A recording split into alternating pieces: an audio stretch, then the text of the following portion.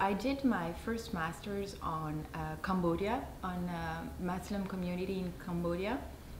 And that was extremely interesting and I really, really liked Cambodia. It's a very interesting place. But there are a lot of French people working on Cambodia. I was trying to look for something um, less occupied by French people um, in all sense of what it may mean. So Malaysia actually was a really good option. Um, Malaysia is a bit of a niche. Um, there are not many Malaysia specialists in the world. The other thing that made me choose Malaysia is that um, it's actually a very complex country. Uh, from outside, uh, it used to look like a young democracy, and soon we realized, especially with the financial scandal, that politics were actually very messy in Malaysia. Well, I knew that for long already because I've been working on the country since 2006, but there is this intricacies of ethnic politics, religious politics, uh, that makes things extremely interesting and extremely complex. And for a political scientist or political anthropologist, this is just the dream country. And of course, then you have the weather, the people, the food, um, and, and it is a very, very nice country to work in. So um, I, I really feel at home right now in Malaysia. Uh, when I go back to Malaysia, I feel like I'm really going back, like I would go back home. And I now spend much more time in Malaysia than I do spend in France, in my original country. Uh, so it is, it is for me, yeah, a, a second home. Uh, of course, most observers were shocked by the election results in Malaysia uh, that brought to power uh, Mohamed Mahathir at the age of 92 years old, knowing that uh, the man was in power for 22 years uh, until, until he resigned in 2004. Um, of course, most people were really surprised because he had been known for being an authoritarian leader, at least to part of the society, um, and he was re-elected on a democratic agenda. So that was that was just incredible, right? Uh, but credible enough for it to work. Um, whether I was surprised, well, yes and no. I would say I had made a bet uh, to actually work with him prior to the campaign and to follow him during the campaign to write a new book about how one can reinvent itself in, politics and to look at the question of legitimacy as well and political imaginary. Um, so I had the feeling that something something extraordinary was was going on and that there were there was a chance for him to win. Um, that was that was the subject of a laugh with, with a few friends, journalist friends in Malaysia who kind of mock me and laugh at me because I was following Mahathir full of hope. Um, but at the end, well, he did win. So, so I think we didn't expect, we observer, uh, academics, journalists, we did not expect, for those who expected maybe a win, we did not expect this, uh, this this incredible score that he made. Uh, so the opposition, the Malaysian, former Malaysian opposition, uh, took power with a very comfortable majority. Uh, and that was, that was definitely unexpected. What makes this um, event extraordinary, it's because the win of the Malaysian opposition uh, slayed 61 years of uh, one party rule in Malaysia so the Barisan Nasional, the National Front, was ruling the country for the past 61 years since independence without ever being challenged to that level. And that was extremely surprising. We knew uh, that the situation in Malaysia had become extremely bad, extremely critical uh, in terms of political legitimacy of the Prime Minister, then Najib Razak, who was embedded in one of the largest uh, financial scandal in the world and history.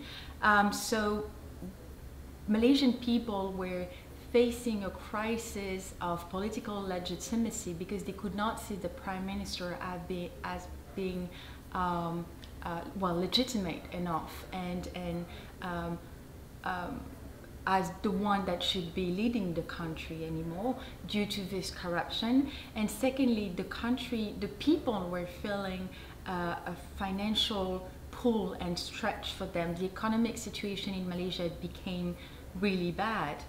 Uh, Mahathir is the one who challenged the IMF. Uh, he's the one who challenged the West. He's the one who reasserted that Malaysia was a Muslim country and a Muslim power, pushing it to the extent of claiming that Malaysia was an Islamic state. Um, but that was definitely uh, to serve his political agenda and to undermine the credibility of the Islamist opposition in Malaysia at the time. So Mahathir has this uh, image of a strong man who is not afraid of taking strong decision and the ways that he has came back to uh, to politics that he actually never really left was really uh, portrayed as the coming back of a savior. So to an extraordinary situation uh, is an extraordinary leader is needed and Mahathir was the one. The idea came, came up actually in 2017 uh, even before we had a date for the campaign and even before he was announced as potential candidate.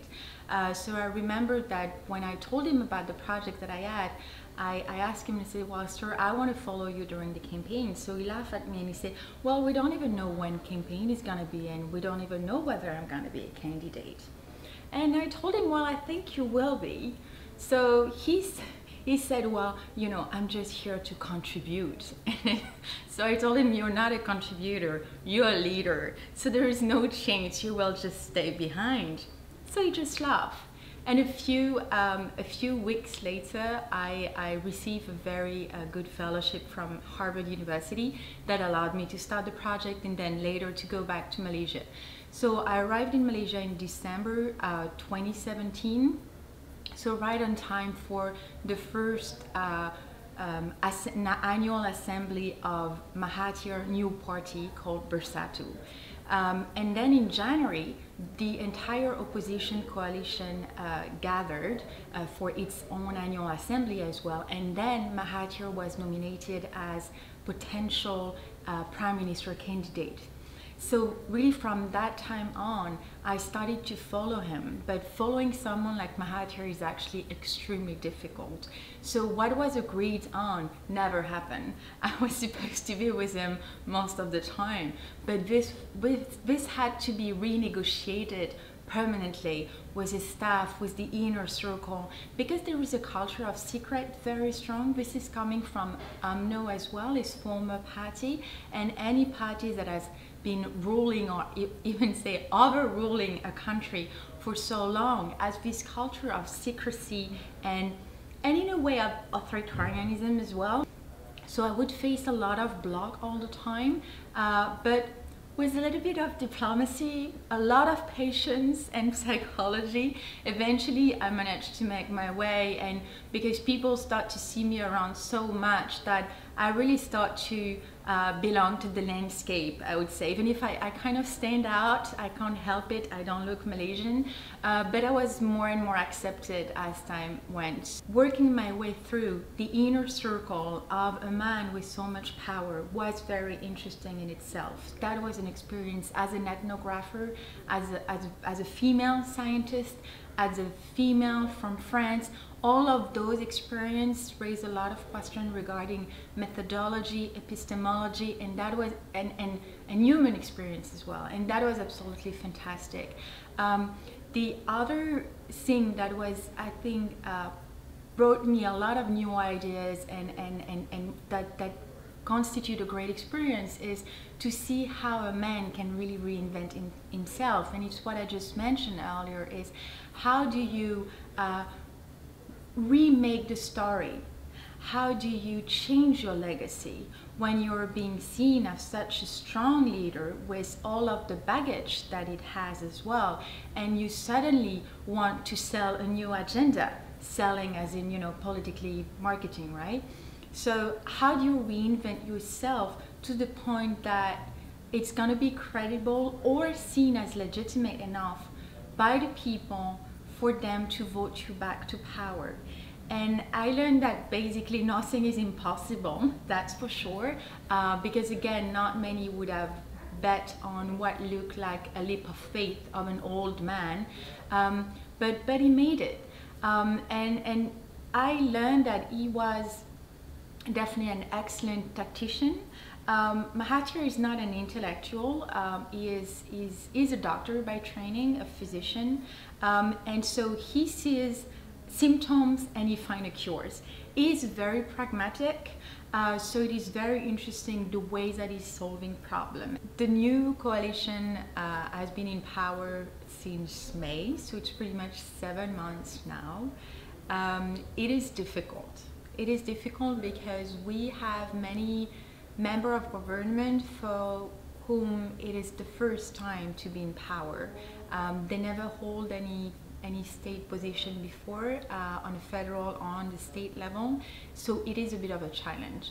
The other uh, difficulties comes from the fact that the coalition is very diverse. So we have Mahathir's party, that is a more Malay nationalist party. Then we have uh, Anwar Ibrahim's party, uh, Keadilan, that is a much more inclusive, multi-ethnic, multi-religious party. And then we have the DAP, uh, that is seen as being a Chinese um, Chinese-based party. When I say Chinese, we're talking about the Chinese minority, not Chinese from China, of course. And then we have Amanah, uh, which is a, an Islamist party, so the, the base of the party is mostly Malay as well. Francis Fukuyama has written an excellent book recently about the politics of resentment, and it's what we're facing in Malaysia. So with this new government, having a coalition, a ruling coalition that represent the composition of society, which is a very good thing, and the diversity of society, the cohesion of power uh, is facing challenges because there is a need for reform of political culture. And the question is, how do you reform political culture? And that is extremely difficult because it doesn't happen overnight. So this comes from education, uh, this comes from changing the way of doing politics. And this is a change of system, of mode, of habits, of codes as well. And this takes a lot of time and it's not just political decision, but it's as well social change. So there are push in society for those changes, but it seems that some part of the government and some part of the state as civil servant are resisting this change. The way of leading for Mahathir is new as well because he used to be a very st strong leader, as we mentioned before, a very strong man who pretty much ruled alone and now he has to rule in a coalition and he's not used to this democratic exercise as well. So I think a lot of people have to learn new ways of making politics and doing politics and it's taking time and they don't have that time. They don't have that time for a few reasons. First, they have only five years because the next election are coming. Secondly, Mahathir is now 93, so well time is counting as well for him. Third, Mahathir has been elected on the promise that within two years he will hand power to Anwar Ibrahim, who is the leader of the, the real, if I may say, the real leader of the opposition who was in jail at the time of the election since 2015 on political constructed uh, charges of sodomy and he was he was released one week after election so Mahathir has two years to make changes he, so there is a long way to go um, and of course the government needs more time to prove its its worth um, and but but there are a lot of challenges that were expected of course but I think some reforms should be pushed a little bit further and a little bit faster that for sure. So um, I'm the happy recipient of the Lee Kong Chian Fellowship. Uh, so this means that I've been sharing my time between Stanford and NUS. So my time at Stanford is coming up. I'm leaving next week and I will be soon starting uh, the chapter two of my fellowship at uh, the National University of Singapore. Uh, so it's very exciting because I'm going to be back in Malaysia because Singapore and Malaysia are just next door. So it's going to, you know, allow me to go back to Malaysia on a very regular basis, to go back to work with Mahathir as well. I mean, work as in uh, interview and observation with Mahathir. And a lot of things are happening now in Malaysia, so it's very exciting. Um, so I have a lot of project uh, going on. So um, I'm finishing the revision of uh, one book manuscript on um, uh, complicit militancy. So it's actually uh, the, the story, it's based on my PhD. So it is how gang uh, have been creating umbrella NGOs to offer political services to political parties. So that was going on a lot during the previous government and the previous ruling, but actually this phenomenon still exists in what we call New Malaysia. Uh, so I'm updating this manuscript and I hope to be able to finish it very early next year and send it to the publisher and to have it released late 2019, early 2020. Uh, the second work that I'm doing is, of course, this book about Mahathir. I'm definitely looking at writing a book for a larger audience. Um, I'm really trying in my work to be able to address a multiple audience. I think that academia is in crisis, to be very honest with you. I think that a lot of my colleagues feel that we're not being listened to, but my feeling is that we have to change the language we speak. Um, and of course, I'm not talking about English or French or Chinese here, but I think the way we address audiences uh, is just wrong. Um, so some of us are doing it really well, meaning that they're either a good professor or very good at, at doing policies and talking to people in DC. Um, other can do K-12 outreach and we do that really well at Stanford. But there is a very large population in between that seems that we can't talk to. And I'm really trying to find ways to talk to those people because they actually represent the largest portion of society and they're the people who vote. So I have started to try to talk to those people in Malaysia. Um, and so I created a, a, series of books on Malaysian politics uh, that are being published in Malaysia and now being republished in Europe and the US as well with Amsterdam University Press. The third volume is on the way and will be published in May. It's going to be called The Others Democracy and it's the volume three of the series Malaysian Politics and People. Why I wanted first to have it published in Malaysia is to uh, make it affordable for Malaysian people and I think that's very important and we tend to forget sometimes when we work on a country we tend to just go there for field work and just leave and, and forget that what we do should actually serve that country or, or, or those people first. Um, so that's the other project I'm working on, uh, this, this third book of, of the series. Um, and having this in mind, this idea of reaching people in another way, I'm currently working on a series of uh, on the uh, contemporary history of Malaysian politics uh, in a form of a graphic novel. So the series is going to cover uh, Malaysian politics during reformasi times. So it's the history of the democratic movement from 1998 until 2018. This is not just a small story. This is a graphic novel based on my research work with my insight from my ethnography and analysis uh, translated into another kind of support that can actually talk to a different audience from teenagers to older adults uh, without any distinction. And, and it, doesn't, I, it doesn't diminish in any way or discredit the quality of research. It's actually a very difficult intellectual effort, effort to be able to translate, synthesize very complex political matters into ways that can fit in a graphic novel without losing the complexity and the precision of, of the kind of research we do well here at Stanford. Uh, so it's a very important exercise and I really do encourage my colleagues to look at all those ways that we can have to actually um, offer what we do to other people and to share, you know, the, the research that we have. Because without, you know, being shared, ideas cannot leave